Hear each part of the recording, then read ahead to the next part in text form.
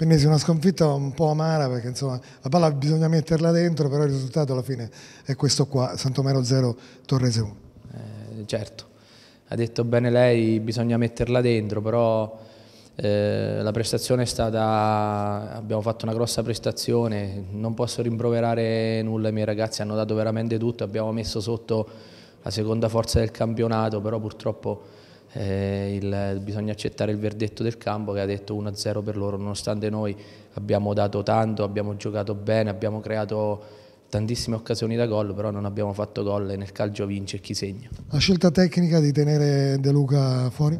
De Rosa. Rosa.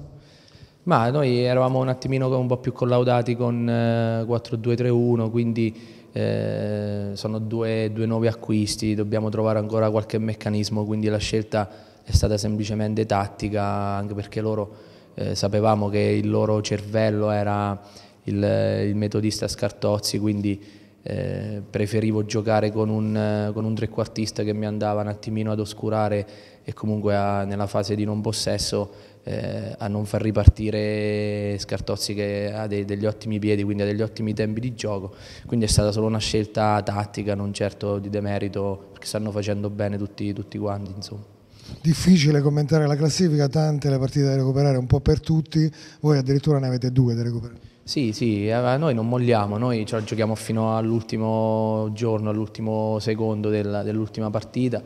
perché questa è la nostra forza, perché questo è il nostro carattere, perché questa è una squadra da, da elogiare nonostante è una squadra anche penalizzata per, per, gli episodi perché la classifica non rispecchia finora il valore di questa squadra e non rispecchia quello che abbiamo fatto in questo campionato fino adesso, però una cosa è sicura che non molliamo, ce la taglieremo fino alla fine con tutti. Allora, mister, una prestazione di sostanza, tre punti importantissimi, forse l'1-1 però ci stava. Beh sì, se, se guardiamo tutto, diciamo, la partita in 90 minuti, forse il risultato più giusto è il pareggio. Credo che noi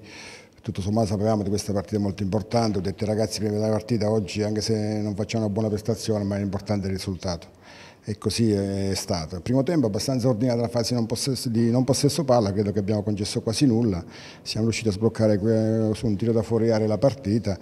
poi nel secondo tempo siamo rientrati un pochettino contratti e devo dire che il Sandomero ha preso un po' il sopravvento, noi non siamo riusciti mai a ripartire, cosa che chiaramente forse è uno dei, delle caratteristiche migliori della mia squadra e alla fine abbiamo sofferto fino alla fine, abbiamo sofferto molto. Ha pesato anche insomma, il livello di condizione fisica, il non allenarsi e quindi di, conse di conseguenza un po' le, le, le, le, vicissitudini del maltempo che si riflettono anche sul calcio. Beh sì, questo è stato determinante perché noi abbiamo una squadra che si allena abbastanza bene, si allena quattro volte a settimana e credo che fino adesso i secondi tempi nostri siano sempre migliori degli altri. Invece già domenica abbiamo sofferto e oggi abbiamo sofferto ancora, quindi qualcosa a livello di, di preparazione manca